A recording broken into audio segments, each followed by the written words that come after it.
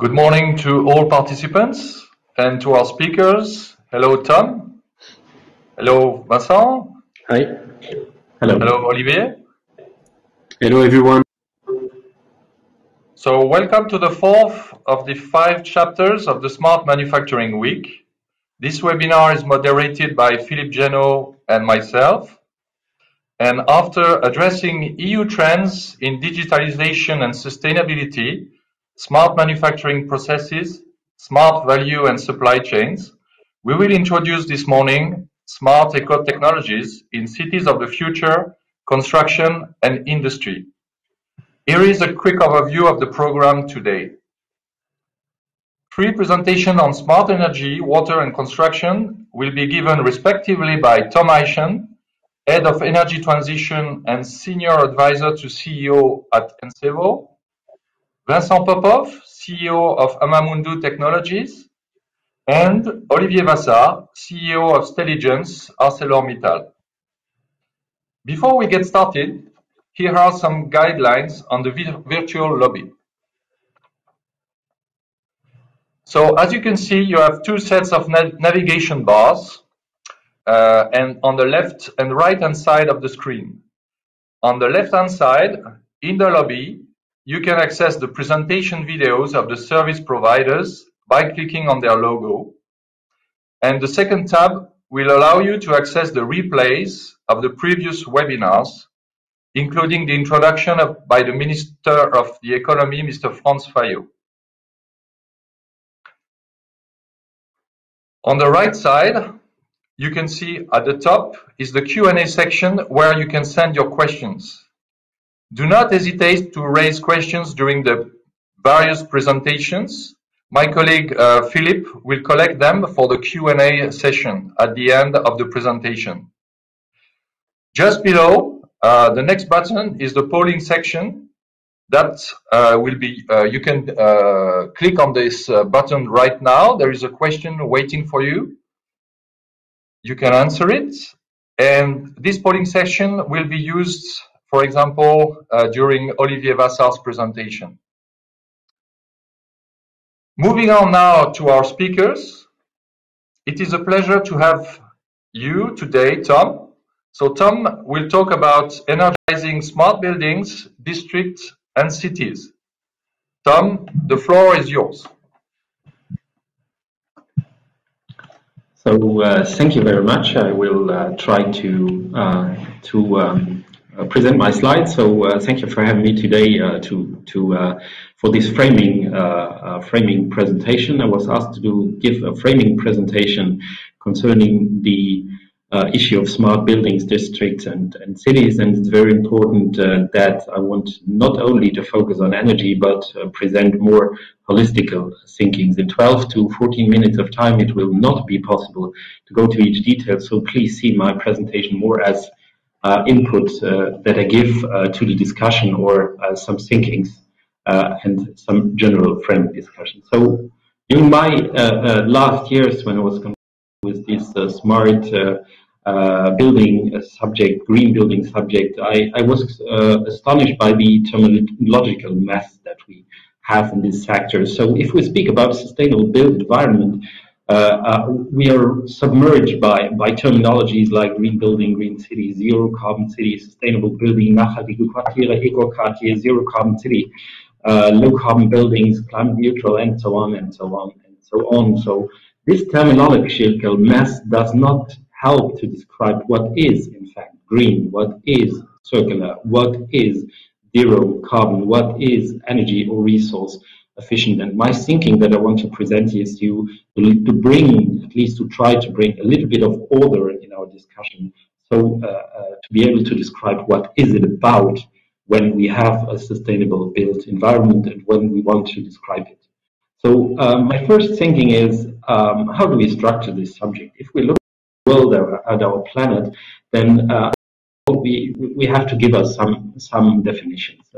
Uh, the most simple ones are what is building? We create building uh, uh, everywhere where we construct cities or districts, and this is the, the, the, the principal node of everything when we speak about built environment. later on, we create out of that in combination with more buildings, we create districts, and um, out of that we form normally uh, cities. And uh, when we uh, when we have to uh, to bring together all these buildings and uh, to fuel them with energy, uh, we, we combine them or we connect them through an infrastructure, be it a data infrastructure, but mainly also an energy infrastructure. So the, the, general principle, not, not something new for everybody in view, but only to have the same words in mind. So when, when we have then this uh, definition uh, with its infrastructure and how these buildings are connected, we can go a little bit further and try to say, what is this built environment that you see here? What is about uh, a description that makes it sustainable? What would be a description that makes it circular? What would be a description that makes it smart? And what would be uh, uh, a, uh, a, definition or a description to make it uh, Uh, adequately and sustainably energized. And I will uh, try to touch upon these four uh, segments uh, to give my thoughts uh, as an input to, to, this session. First of all, we will have a look at at the circular issue. So we speak a lot about circular buildings, districts, and city, but what it is in the general lines about. To explain this in more general terms, in my eyes, it is it is uh, uh, very useful to say, okay, we create a city, a district, and a building, which we, we create a certain technosphere, and uh, we, um, we, we create it by going to the ecosphere and taking something out of that. So we need sources to create this built environment. And uh, when we don't use this built environment anymore, we destroy the buildings or we, we um, we don't use them anymore. We give back this material and everything that we use during lifetime of these districts to the sinks. So when we look at the resources and the sources that we have, we have all the known natural resources, uh, uh water, sun, air, uh, biomass, but also these non-natural uh, uh, fossil resources or materials that we take out of.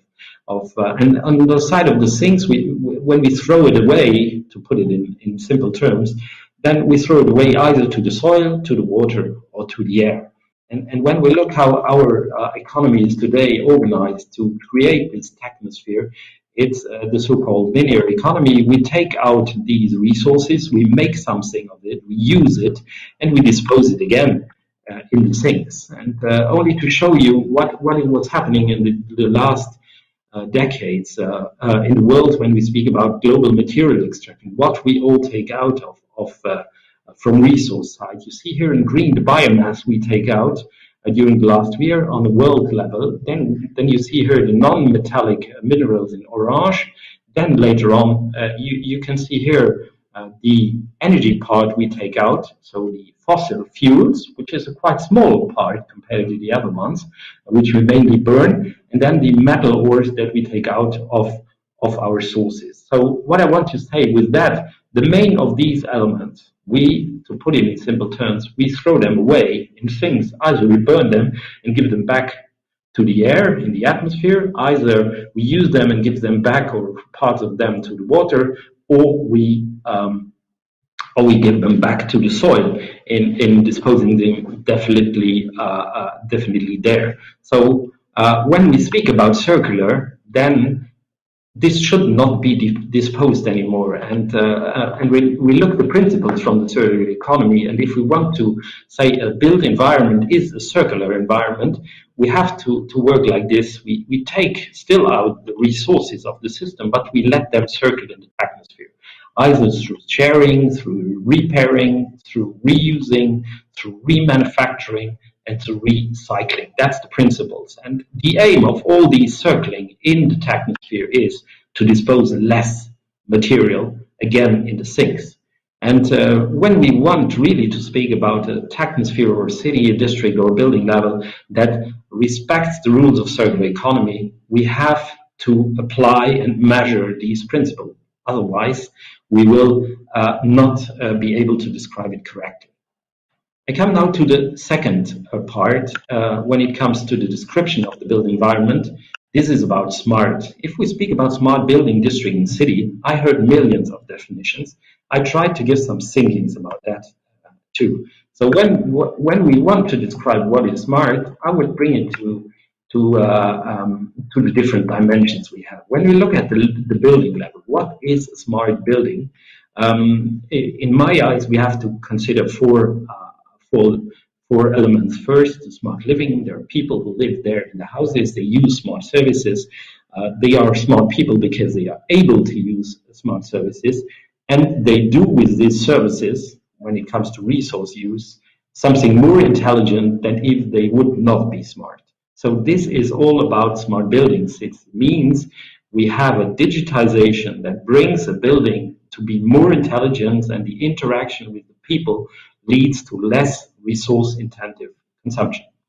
If we look this on the uh, district level, we, we have the smart mobility and smart infrastructure um, added to these components. That means when we have more buildings that interact and where people interact and and, and are going between, in between these buildings. They, they are mobile, they, they are going from A to B, and they have smart infrastructure use it. So uh, on the district level, it is smartness is about organizing these two components in addition to the building level. And when it comes to uh, the um, uh, smartness of the city level, then it, it's clear that we need a smart government and an organization form a smart economy that supports that buildings and districts can generate smartness uh, with their inhabitants. So when we want to describe what is a smart building, a smart district, and a smart city, we have, in my eyes, to have measuring instruments uh, that certify us that we are indeed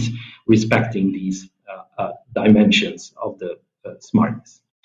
Uh, I would like to come to the next um, aspect, which is sustainability. This is very, and very intensively uh, discussed last year. When, in which situation, uh, a city, a district, or a building can be sustainable. So let's come again back to our ecosphere.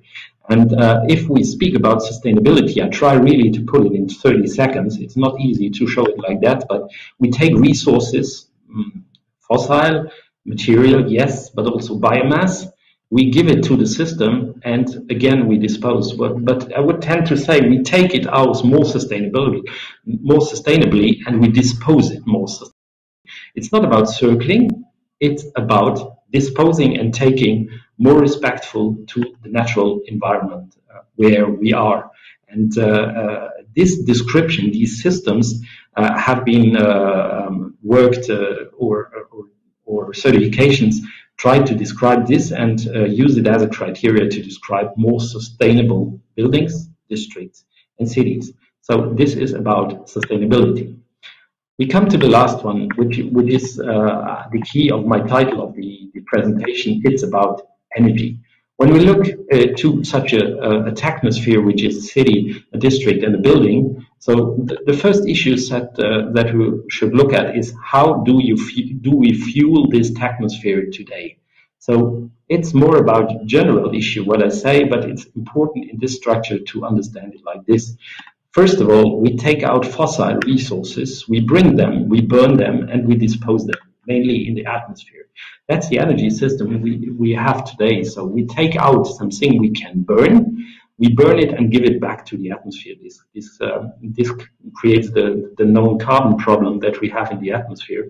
And if we want to have really uh, um, an energy system that, that is not disposing in the atmosphere anymore, we, we have to change this energy system fundamentally from the building level, from the district level, from the uh, city level, but also from the infrastructure level. I will come to that. So from this fossil-based system, when we want to go to a renewable and energy efficient system, we should take out more of these resources, take them as a fuel, and here I indicate geothermal energy, which is in the soil, take them, bring them to the atmosphere, so again a take, but a take of natural resources, and bring them to make the supply side renewable. One thing we have to do if we really have to have, have renewable and energy efficient uh, cities, districts. But we, we should not say we take it out and that's enough because it's renewable. We should also we take uh, as less as possible out from the natural resources because before we make the system and the city efficient. So we have to make the demand side efficient to take out of the system less, I show you here in the graphic, less of natural resources. It should not be the conclusion that the fact that it is a natural resource, we can take it out endlessly. It should be the conclusion, first, we reduce the demand. Second, we take out the rest from the natural resources. So we have two main pillars to become more demand side efficient and more supply side renewable. And we have to describe this with clear criteria to quote really, is this a sustainable city or is this a renewable or energy efficient city or not? I come now to the, the infrastructure question. What will happen with the electricity grid? We know the electricity grid today. It combines every buildings in, in a district. I have here, as an example, uh, only shown two. And uh, what is the system today? We take out of the the resource, we burn it in, in huge uh, power plants and bring it on a centralized way to the customers. That's the system that we have today. So this is a centralized carbon-based electricity grid. What, what will happen in the future and what is already about to happen and what has to happen if we want really to speak about sustainable cities. And uh, that means that we have to come to a distributed, fully digitized and renewable electricity grid. What does that mean? This does mean that we have still centralized energy that comes from wind and mainly from sun, and we will have also decentralized production on buildings. And these distribute, will be distributed between consumers. That's a new effect, uh, which we see rise in the energy transition today. So what will happen when people are able to produce at home? They will become prosumers. You know all this terminology, but they will be able to become different things. They can be renewable self-consumers. They can jointly act as renewable self-consumers. So they consume, they produce, they share. They can organize through the grid and digitized grid peer-to-peer trading with the electrons. They can have a renewable energy community as an organization form to share their energy, and they have the ability to create citizen energy communities.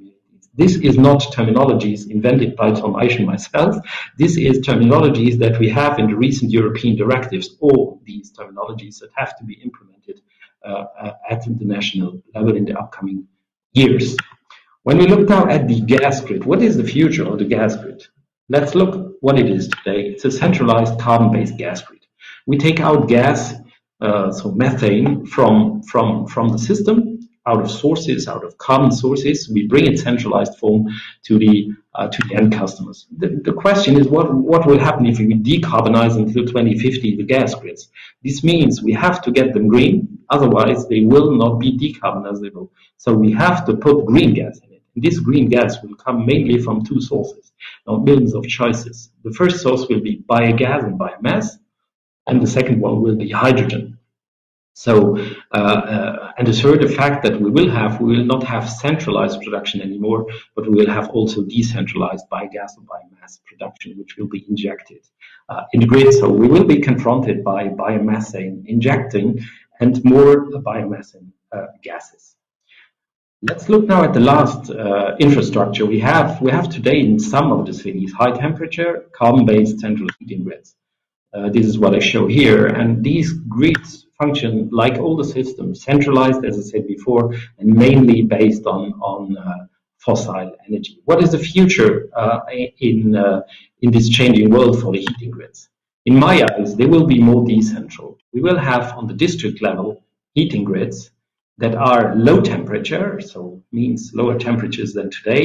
They will be based on renewable and they will be decentral. So what you see here is the example of having three districts with heating grids. These heating grids will be fueled by decentralized uh, uh, production units uh, and mainly based on biomass and, and, uh, and geothermal energy. And uh, there will be an additional effect in the future, which we'll see on the building. We will have heat production. And this heat production will be either fueled by sun, by biomass, or also by geothermal energy. And we will have the potential, even if I see it later, uh, that this will be distributed between the consumers in a certain manner, sharing in a small district. It will be possible, but I think it will not happen today. It will not happen tomorrow, but perhaps after tomorrow. So again, this repeats, the structure can repeat on different district levels, and um, we will see a potential of prosumer uh, to have more uh, of these systems. Um, to conclude, when we look at these three infrastructures, so once again, electricity, gas, and the distributed heating grids, what will happen in the future with these grids when have they an interaction which they have not today? And yes, they will have, there will be a potential. When there is too much wind and sun, we will have to put it somewhere. And therefore, the power to gas technology will come and bring, will convert electricity that is too much in the grid into perhaps gas and bring it to the gas infrastructure. And there will be an effect where we have power to heat. That means if we have too much wind and sun in the system, we shall put it somewhere. And to put it somewhere, we can put it in heat and bring it to the heating grid. So there will be an interaction between these different uh, uh technologies, and that uh, uh, we mean by that the uh, sector coupling, uh, and this will develop in the upcoming years. So what I said before, if we want to say, I live in a sustainable building or a green building or a zero carbon building, I live in such a district or a city, we, we have to have measuring instruments to describe it. We have to say, okay, how can I describe that a city is circular? How can I describe that uh, uh, a building is uh, sustainably energized? How can I say that a district is smart?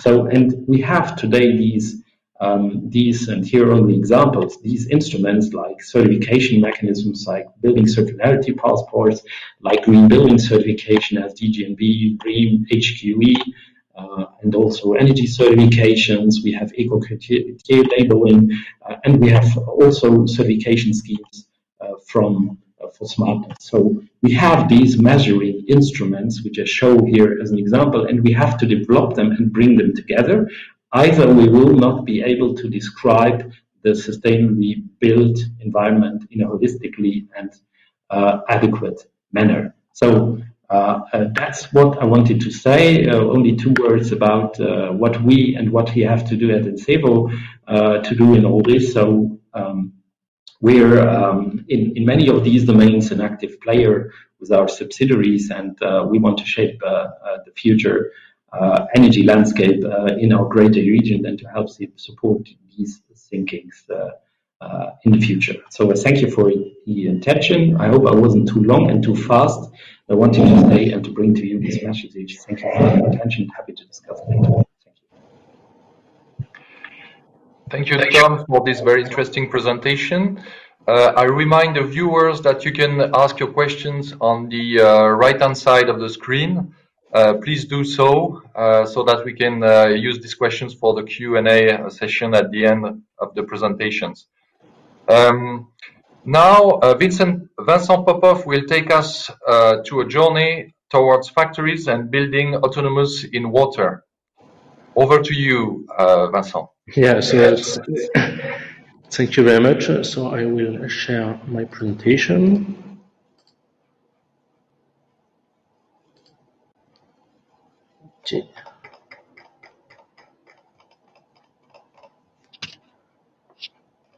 Wait, sorry for that. Okay, so I'm ready. So, uh, yes, so thank you very much for this invitation. Uh, it's always a, a, pleasure for, for us to speak about a topic we feel very concerned about, uh, which is uh, uh, water. So uh, let me start with some facts and figures, and to be more precise, to start with the figures. So 2035, it basically is the date we estimate that the Luxembourg will experience serious uh, shortage of uh, water. And there is even some studies showing that perhaps it's a bit uh, optimistic.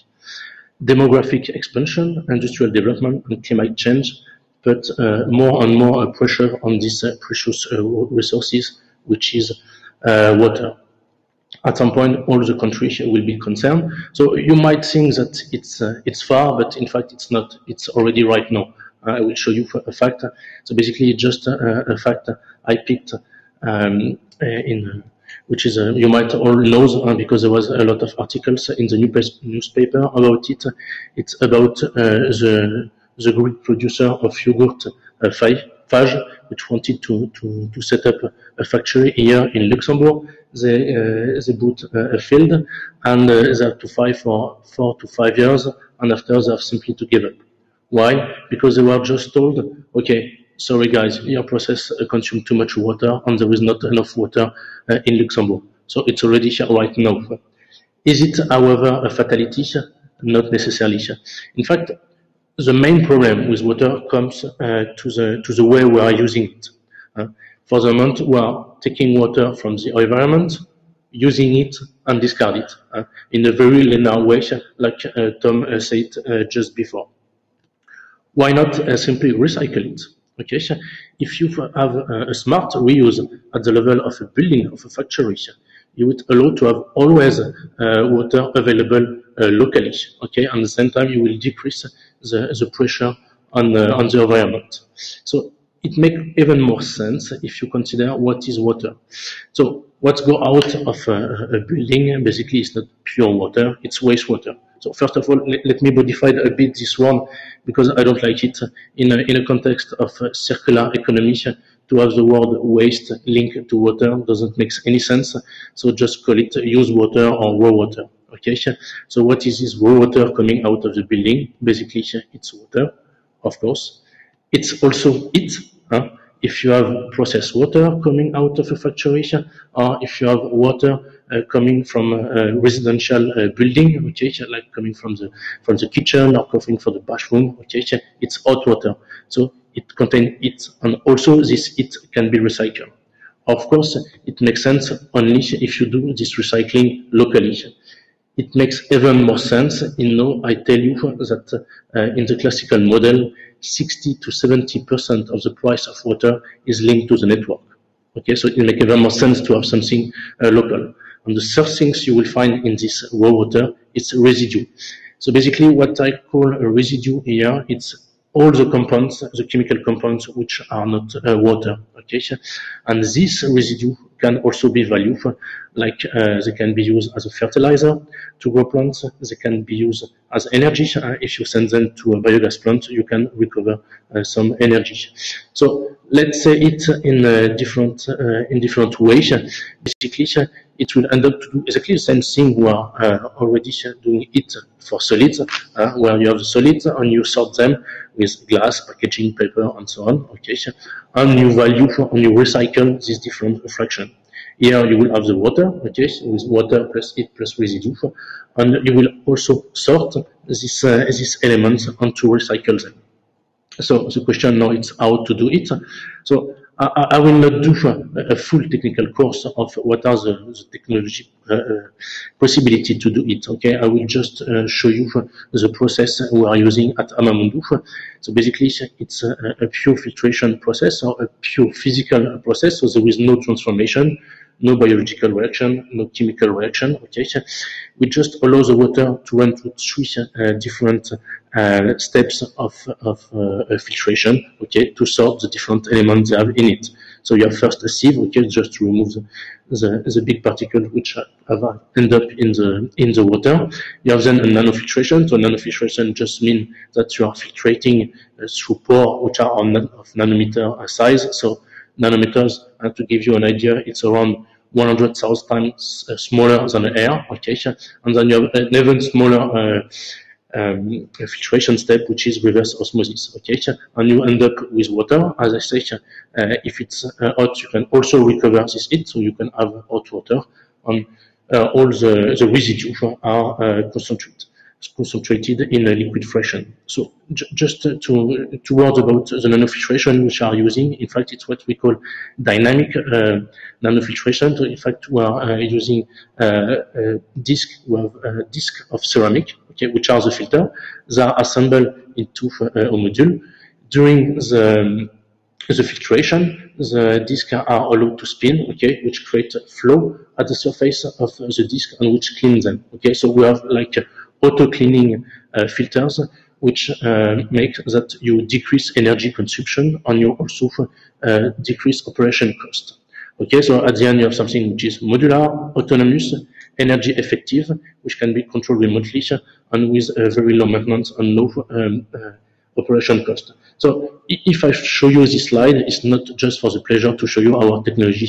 It was more to, to show you the, the, the feature, uh, uh, the feature uh, because this is the feature we target. This we think it's the feature which are needed for uh, technology, whatever it is, to be implemented for doing water recycling at the level of a factory or uh, a building. So I, I, was told to, to put like more on a focus and uh, eco-cities. So I will do. So I show you some technical aspect. Okay, so, so as you can see, uh, technology is there. Okay, I show you my technology, but is also other technologies, uh, is there to do uh, to do the job? From an economic point of view. From, due to the fact that if you do it locally, you don't have all those price uh, for the network. It's uh, also um, interesting, okay, but often in the project, the, the bottleneck is more uh, the law, okay, regulation, okay, because all the, the law for now are more built for linear model, and sometimes it doesn't fit for uh, uh circular economies. So there used to be uh, uh already a standard since a, a, couple of years, okay, what I wrote it here, European standard, okay, at, level, at the level of a building, you can take rainwater, okay, and you can use for uh, usage like toilets, laundry, watering, and cleaning. Okay, quite recently, and when I say recently, I mean uh, last year, there was a new European standard say, okay, you can do the same by uh, using grey water. So basically what is uh, grey water? It's all the, the water coming out of the building except the water from toilets. So it's water coming from bathroom, coming from laundry, coming from dishwashing, coming from kitchen. And this is a main, it, it, it's, it's a main advantage because the problem of rainwater, it's, it can rain a lot for a couple of days and then nothing for uh, several weeks. So meaning that if you want to to, to use rainwater, you, you need to have a big storage tank, okay, to, to collect the, the, the water when it comes. The big advantage of uh, uh, the, the grey water, it's you produce it when you need it. Okay, I explain this. If, for example, if you take a shower, okay, the, the, the water you have used for the shower is immediately available to be put in the toilet. Okay, and also here between the resources and the, the usage is quite balanced. So basically, you produce exactly the, the, the amount of water you uh, you will need. Okay, and also uh, the, the third advantage, it's that, uh, as I say, uh, already say, water coming from the bathroom or the kitchen, it's also hot, so you can recycle this this this heat. So to give you uh, quite some some uh, concrete example of what can be done. So here it's uh, it's an example with Waterlink. So Waterlink it's a water company uh, Uh, which is uh, distributing water at uh, Antwerp in the north of uh, uh, Belgium. Okay, so basically there are interesting thinking, which is more and more the case for the different water companies to say, okay, our job is to take water from resources, okay, and to have in a good quality to distribute it. We use to take water from lake, lake, river, sea, groundwater, okay, groundwater, uh, gray water coming out of the building. Basically, it's just like uh, resources like the others. Okay, we just need to put uh, the, the proper uh, process in front of it to produce uh, uh, good um, good water. And here, what you can see on the on the, on the, on the picture, it's um, basically an example. It's it's of uh, Uh, a machine, they, put it at the level of a restaurant in an eco district. Okay, so they treat the water of the restaurant. So you can see on the two glass on the left, it's the water how it comes out of the restaurant, and then it's how uh, it is after after the filtration. And here they also push the, the project quite far as they, they they go until having a drinkable uh, quality uh, for water. Uh, uh, another example to show uh, you what is possible uh, to do. So here uh, it's a case of, uh, of a camping. So it's a camping in in the south of France, which is close to the sea. So which is taking his water directly from the floor. So it's groundwater, but they don't have access to a wastewater network. Okay, so what they do, they collect all the water. So here it's not only the grey water, it's also the water coming out of the of the toilets, and they filter it. So they concentrate all the residues, so they have a smaller volume, which is easier to, to handle, because they don't have access to the wastewater uh, network, and they have uh, clear water. Because in this setup, they also take the water from the toilets, the, the water they end up at the end is not totally pure, it still contains some residue. And this residue, what are there? It's, it's nitrogen, phosphorus, so basically it's fertilizer.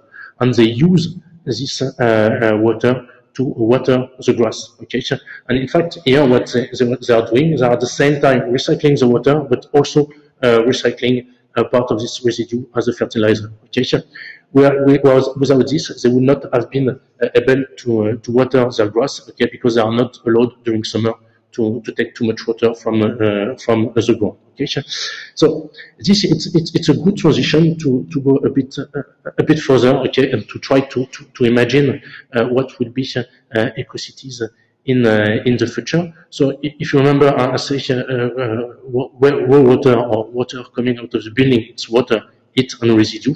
Okay, and in the future, you can imagine that we will reuse locally directly of all of these compounds. And you see here I pick up a couple of of uh, a very beautiful picture of how it could look like ecocities in the future. And you can see there is a lot of green, okay?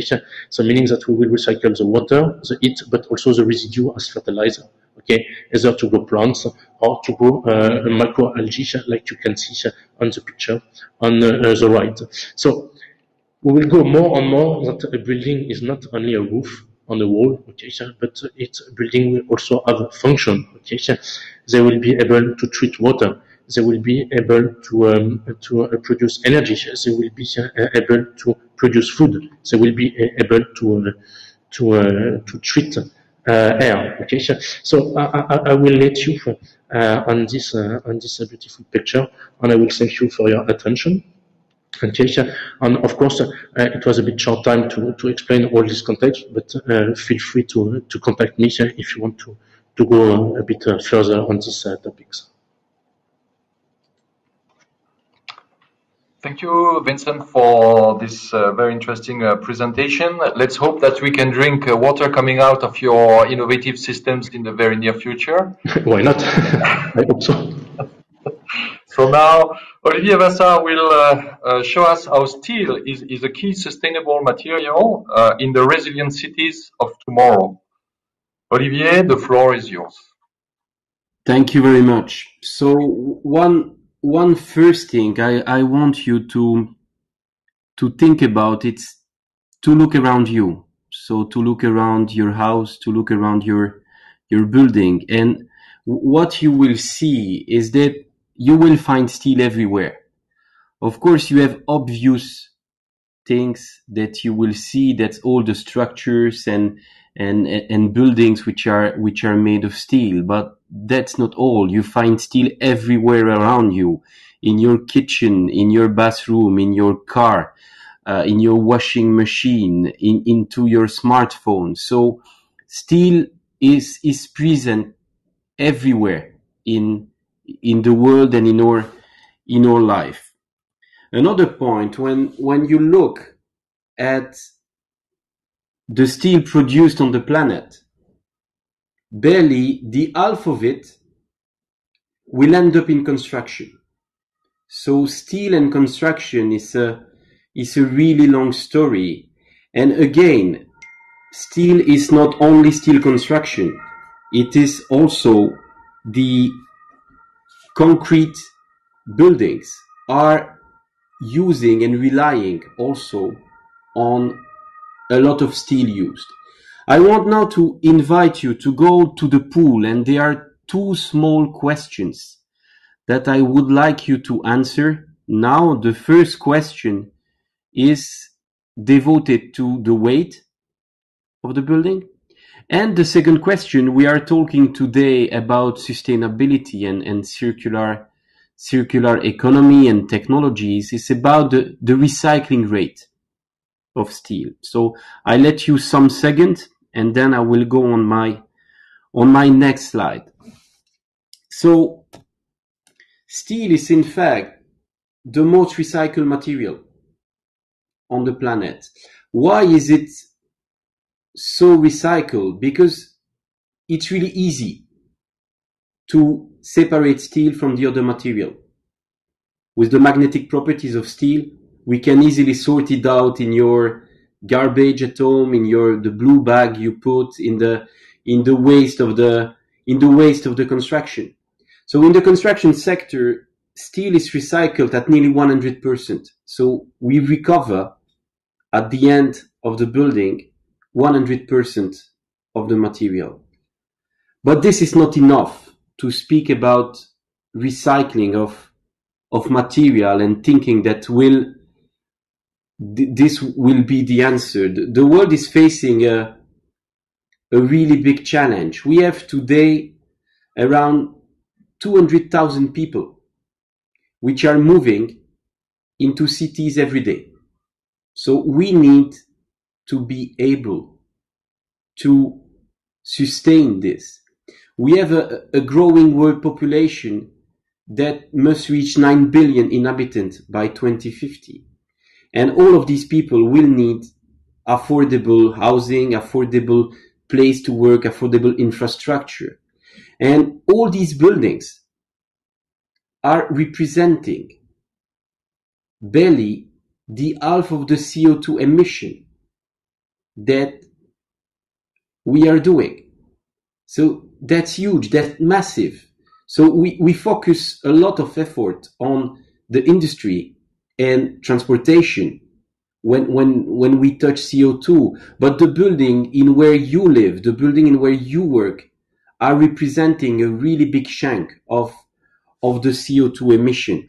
It means that we will need new approaches to, to sustain our way of life. We, we cannot continue to build like we build today. We, we need to change completely the, the, the philosophy. So some years ago, ArcelorMittal has decided to, to look at the, at the construction market from, from another perspective. And we launched the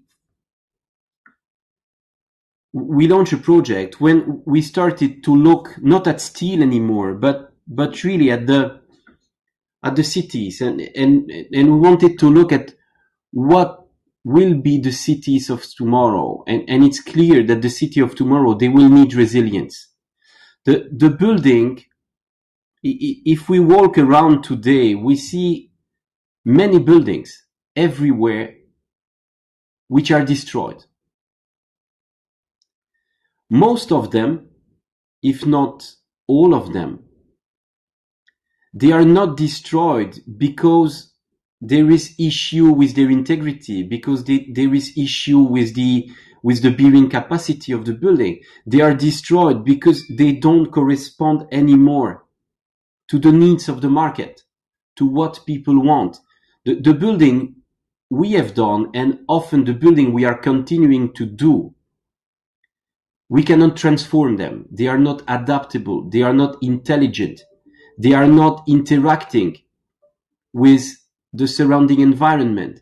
And if we don't change this and changing the way we do building, we will continue to build and within some years destroy and build again. That, that's not the right way to, to, to tackle or, or build environment. We need we need to build our building as, as living entities and building that will be able to, to adapt to the future needs.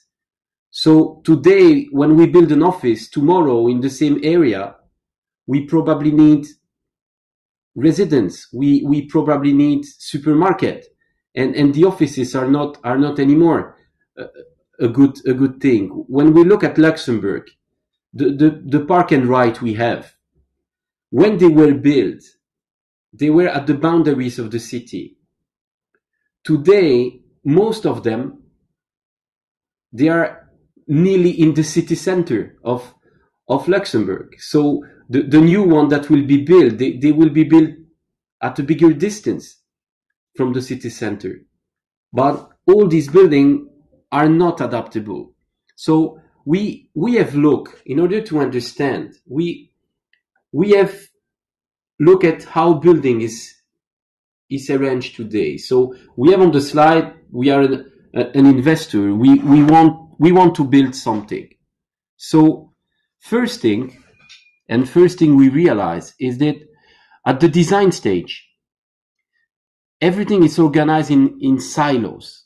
It means that we have different parts in the building, and each of the stakeholders are optimizing their part.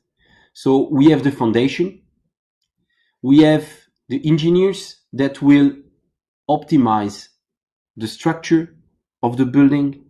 They will optimize the floors of the building. Then there is another team with a specialist in thermal calculation and so on and, and, and lighting, uh, natural lighting that will optimize the envelope of the building. And finally, we will we will optimize all the HVAC systems and ventilation systems of the building. But at the end of the day, the building is, is an assembly of all this. So we created the BIM. A lot of people are speaking about BIM to, to resolve a lot of issue. It's clear that the BIM will resolve in advance the buildability of the building. It means when we will put together all these components, we will see with the BIM if they are compatible one with the other. But we will never assess if this assembly of optimum is an optimum. In any mathematical system, in any scientific system, the sum of optimum is equal to the global optimum. It means that we need to look at the building holistically. We need to look at the building as a full entity and sometime invest more in some area in order to optimize the complete building. Then what does it mean optimizing? you can discuss with 100 people, they will have 100 different opinion. You can optimize the cost to have the cheapest building as possible. If you ask an engineer, he will optimize the weight of the element. If you ask, I would say the, the, the stakeholders, the final users, the, they want a, environmental optimization. If you discuss with building users, the optimum for them is a full flexibility of the building. If you discuss with construction company and, and investors, they want building that are built quickly and easily. So when we talk about optimization, we need to be able at the same time to look on the left at the complete building and on the right being able to tackle multi-criteria optimization. So what we have done in, in the recent year is that we developed a methodology that allow us at design stage to look at the building from an holistic point of view and look at all these criteria it means that when you design a building, you can at the same time look at the effect of the choices you do on all the criteria that we have mentioned. So today I will highlight only one, which is the environment. So when we look at the footprint, environmental footprint of the building, compared to a baseline scenario. So baseline scenario is the is the building that you will find a bit everywhere if you drive into into Luxembourg. You see that a lot of job sites they are they, they are done like this, cast in place, cast in place concrete. And you can optimize scenario where you combine different material. So it's not a 100% steel material. It will not be the most efficient. It's a, it's a building which combine in an efficient way steel and concrete. And when you calculate this, the environmental impact can be reduced up to 40% by intelligently designing and, and, and doing the, doing the construction. So we are convinced that we need to change the approach towards the, the construction market. We need to look at the building as a full entity. We need a global approach of the construction, taking into account all the stakeholders. So from the ID generation until final construction and use of the building, we need to take the entire life cycle of what we do because really often we are pushing the problem on the next generation. So we look at today and what is the cheapest today? What is the fastest today? And then we let all this building stock on the shoulders of the next generation. We need really to change that and think from the beginning on, on what do we do with this building at its end of use? What, how can we refurbish easily this building to give him a new life? Then the, when, when we look at the chain of the, of the construction, our customers, they are on the right side. It means they are the builders. That are the people which are buying the material, it, whatever the material, steel, concrete, rebars, wood, they're on the right side. But people who decide how the building will be done and how the material can be optimized are all on the left part. From the investors, the architect, program manager, engineering office, they are deciding on what will we do with the building. It's not the construction company, it's you, the people who are doing the program of the building that will decide if the building will be really environmental and if the building will properly enter in the urban environment. So we have decided to put people on the market, so engineers, architects, that are helping the investors, the engineering office, the, the, the architect to make the right choice of the steel material and the steel grid that can be used in building when they want when they want to do building in a when they want to do building in steel. So that's that's all for me. I thank you for your your attention. Thank you, Olivier. Circular and sustainable design is uh, really is essential. Uh, I agree. Uh, many thanks to the three presenters. I will now leave the floor to Philippe Genot uh, for the Q&A session. Over to you, Philippe. Thank you, Charles Albert. Uh, thank you very much um, to the three speakers. Very interesting and very inspiring speeches. Um, for me, it seems really very clear that uh, we have to change, uh, really to change things, and uh, we really have to act now. That is a very important point. We see that we don't have time uh, for more than 50 or 20 years to change things, so that seems very clear for me.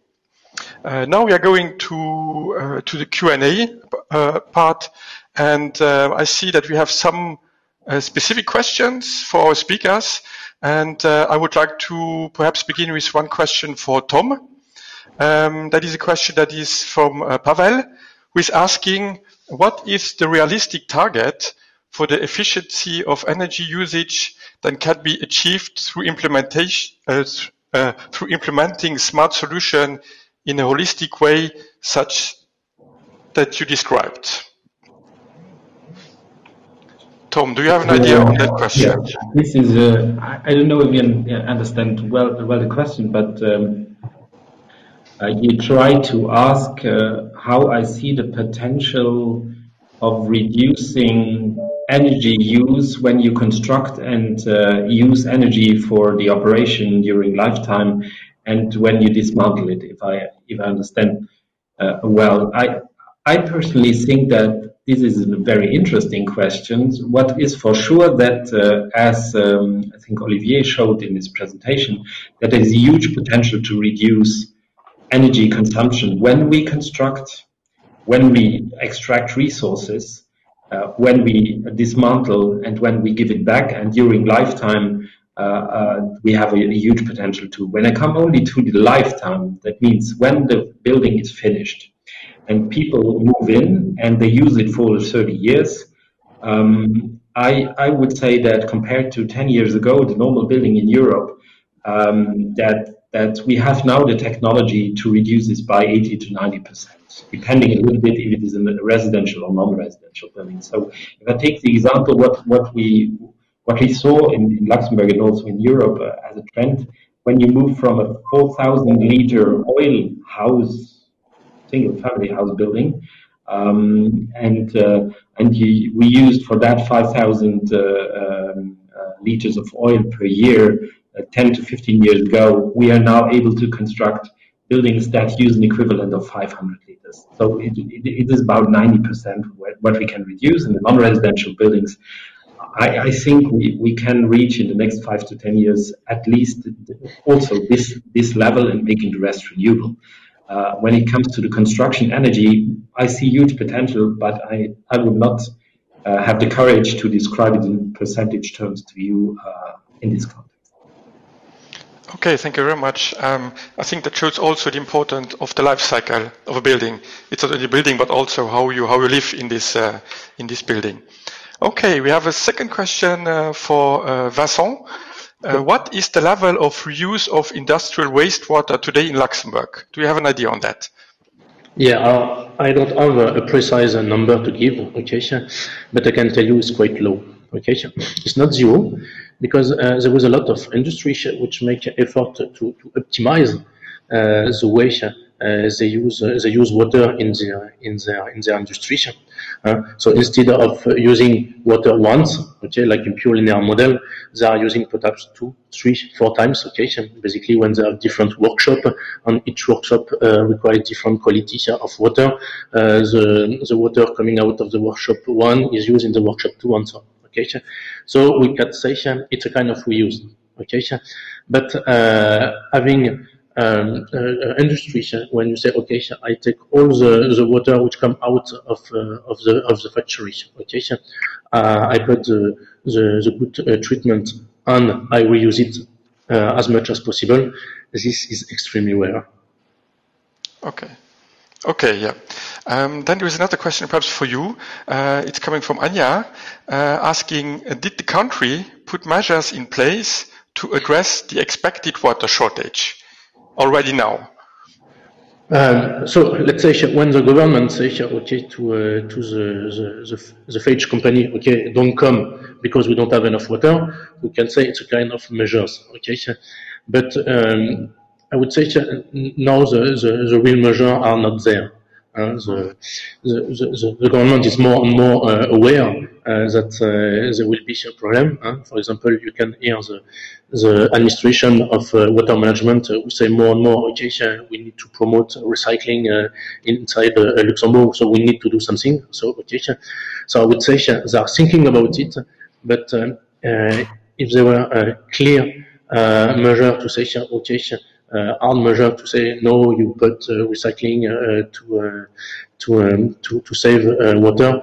This needs to come. Okay. Um, then I have another question. another question for Olivier.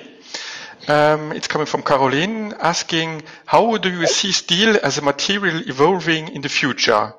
What features, functionalities should it have to be integrated into the digital world? So the link to also this digital BIM questioning. So yeah, for me there are different questions in the in the question. First of all, concern, con, concerning the the evolution as a material. So globally, steel is a material which evolve a, a lot in terms of technology. So the the steel you find today on the market, so around 70% of the steel you find on the market was not existing 10 to 15 years ago. So concerning the material itself, there, there is a big evolution on the material properties, the, the, the strengths, the, um, the, the, the, elongation. So all the material properties are, are content, constantly evolving. So that, that's one thing. Then we have also a, a strong evolution on the, on the process, on the way we are producing steel. As you know, we are the first company in the world which has put on the paper the climate action report. So we took clear engagement by written on the way we will produce steel and our intention is to be carbon neutral for 2050 and to reduce by two or emission by 2030 already. So there are a lot of things that are evolving there. Then when it, when it concerns the use of steel and all these BIM and so on. So in fact, this digital world will really help us to go to the next step. So today, when, when a building is, is demolished, it is recycled. But what we want to do is to go one step further, is to is to reuse the component. And in order to reuse them in an efficient way, we need to keep the traceability of the material properties and all these things during the life of the building. So today, by by law, I would say, we have a full traceability until the job site. So each beam is identified with a with all the properties and so on, but it's not followed up during the life cycle of the building. With a BIM model now and a digital twin of the building, you can introduce all these property into the twin. Like that, you will keep them until the end of use, and you will be able to recover the elements to reuse them in a in a future construction. Okay, thank you very much. Uh, perhaps one last question, a more general question. Um, we are facing now this uh, COVID-19 crisis, and we see very a huge impact on the on the uh, construction market and the evolution of the market uh, regarding uh, construction and uh, smart eco cities. It's perhaps a question for the three speakers. Uh, just if you could just mention one issue that has to be solved in the next months in order to really now go on the next stage in the development of this I uh, think we this, uh, deactivated all our cameras, so the, the, the user they just see our pictures. Ah, okay, Natalie. Yes, perhaps. Yeah. So I'm just going to uh, to uh, yes. Uh, so for my question was that so that we have a change now in the in the market uh, on the on on the sustainable and circular construction. And if you could just uh, mention one issue that you see uh, that has to be uh, that has to be um, uh, faced in the next uh, in the next months in order that the market can really uh, develop now after the crisis. What do you think about that? Me, at least I can speak for the the water part, okay? Yes. Because it, it's what we have seen during this this COVID crisis. It's that uh, water can be a vector also of uh, disease.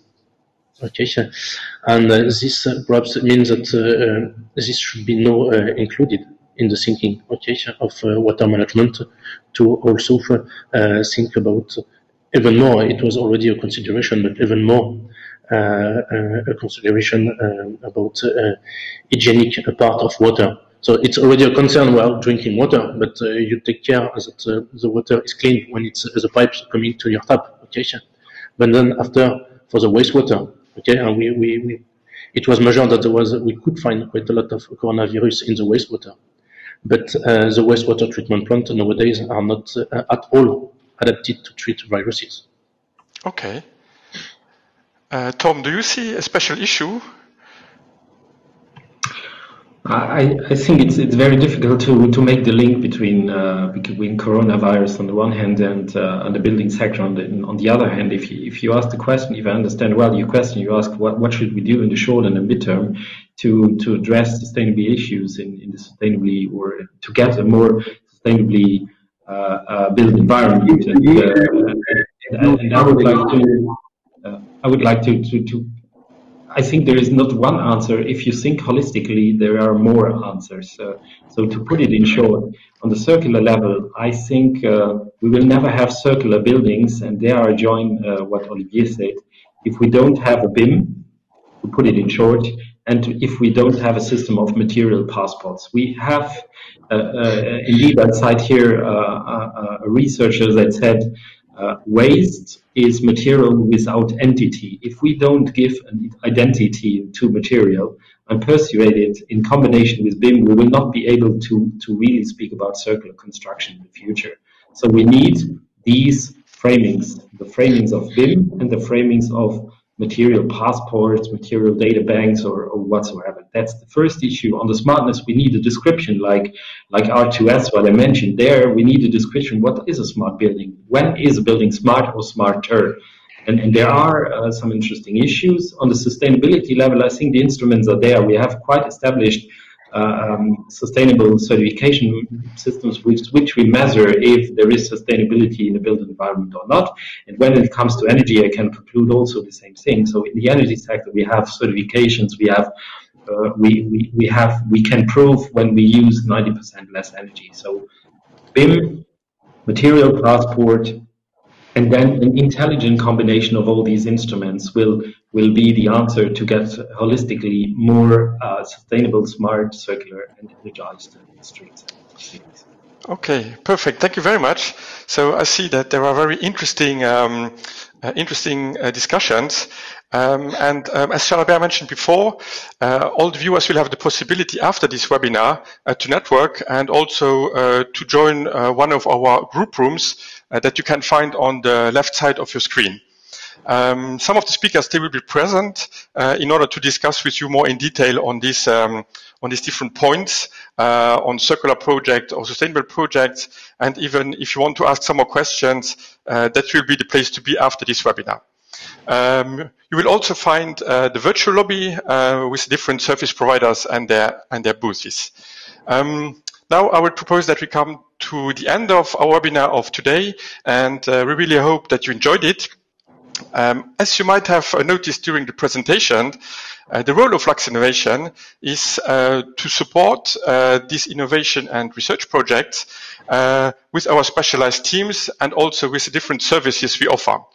Um, it is very important for us, uh, how could I say, to, uh, to link the dots meaning uh, bringing ideas together, but also bringing people together.